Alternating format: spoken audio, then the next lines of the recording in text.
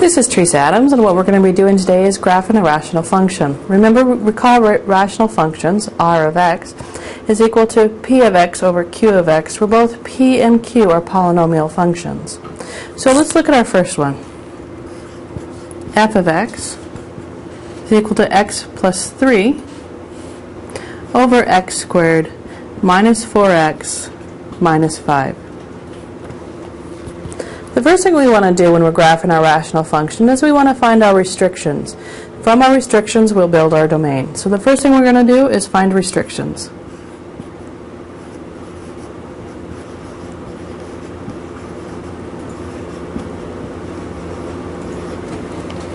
The restrictions come from the q of x because I want to make sure that this function on the denominator, or the q of x, does not equal 0. If q of x equals 0, then we'll have an undefined function. So the first thing I've got to do is figure out what x cannot be. So for me to figure out what x cannot be, I've got to figure out what the what this factors into. So this factors into x minus 5 times x plus 1.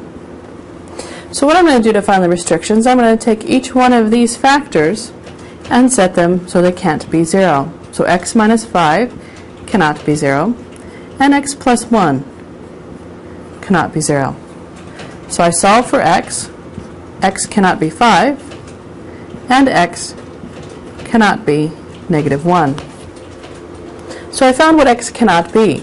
So I found my restrictions. From my restrictions, I build my domain.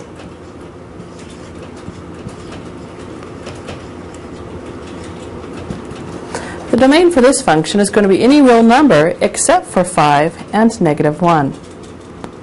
So my domain is x such that x does not equal negative 1 or 5, and it's any other real number that I want, with the exception of those two. Once I've found my domain, I can find my vertical asymptotes.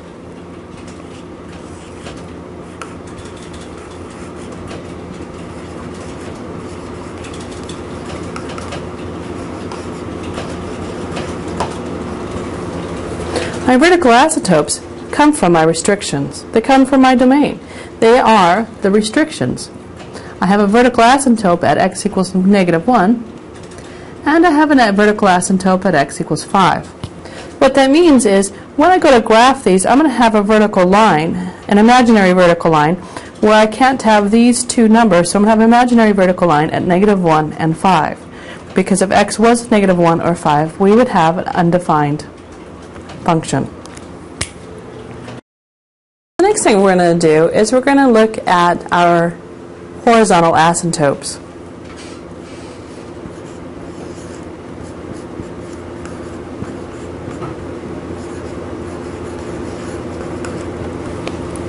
To find our horizontal asymptotes, we need to compare the degrees of our numerator and our denominator.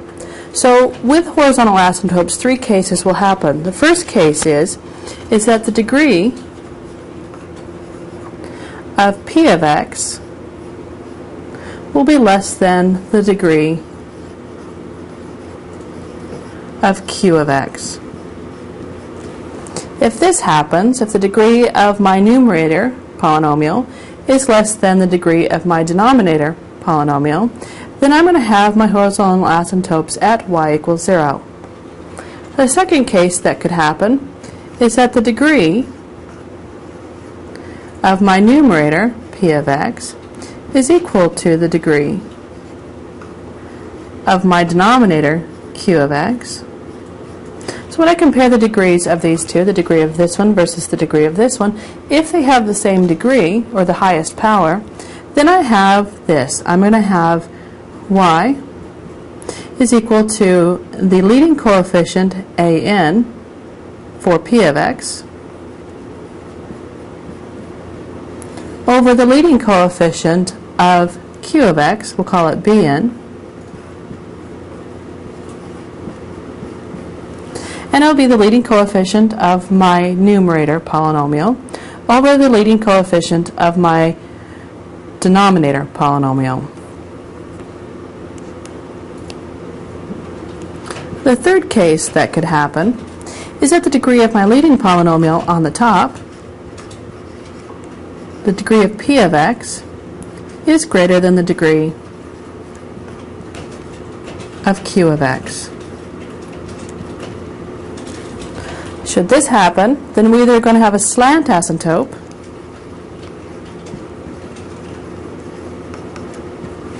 a quadratic asymptote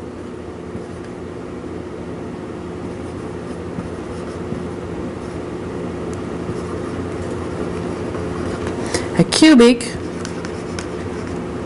or, or etc. And the way in which we find this is that dreaded long division. So, looking at our rational function, what we've got here is we have on the top we have a degree of 1 and on the bottom we have a degree of 2. The highest power on the top is a 1 and the highest power on the bottom is a 2. So I have a degree on the top of 1 and the degree on the bottom of 2. So for ours, for this particular rational function, it falls into category number 1. So we're going to have a horizontal asymptote at y equals 0. After we find a horizontal asymptote, the next thing we want to do is we want to find where it's going to cross the y-axis, if it crosses the y-axis. So to find the y-intercepts, we put in f of 0. So we put in 0 into our original function, and I'm going to use the one that's already been factored for me. So I have 0 plus 3 over 0 minus 5 multiplied by 0 plus 1. So we get 3 over negative 5. So my y-intercept for this function is going to be at 0, negative 3 fifths.